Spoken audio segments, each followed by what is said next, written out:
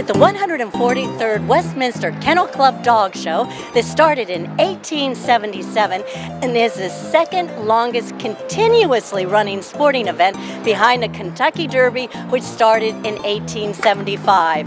It predates the automobile, radio, television, and airplanes. Founded in the shadow of the Civil War, members felt that a dog show would bring New Yorkers together.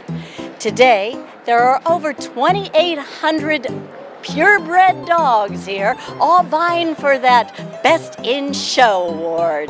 So now, let's take a walk around and meet some of the owners and breeders and some of these purebred pups. First off, we're here at the Westminster uh, Dog Show. What type of dog is this? This is an Irish Wolfhound.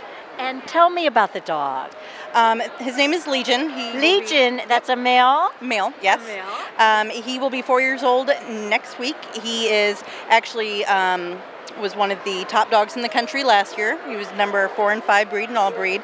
Number one owner handled Irish Wolfhound in the country last year, and number two owner handled this year. And tell me a little bit about what does he like? He loves the attention. He is he literally thinks that all of you are here just because he showed up. and tell me about the grooming. Um, there's not a ton. We you have to keep them brushed out, otherwise they look a mess. Um, tidy up their head and their ears and their tuck up, but for the most part, there's not you know too inclusive. How much exercise uh, does it does it entail? Um, I have multiple wolfhounds, so they spend a lot of their time chasing each other around the yard. Yeah. Do you have a big yard? Or? We do. We have about an acre fenced in for them.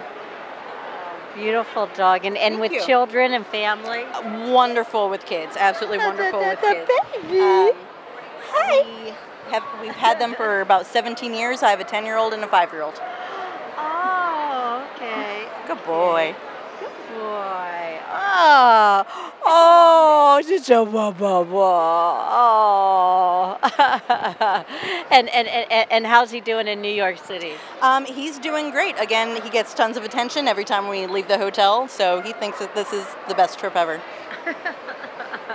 How'd you get him here? Did you fly or drive? We drove. We came from northern Kentucky, so it was about a 10 or 11 hour drive. Uh, Northern Kentucky, hey, the Kentucky Derby. That's Yep. the uh, first, the first, the longest running uh, sports event, the Kentucky Absolutely. Derby.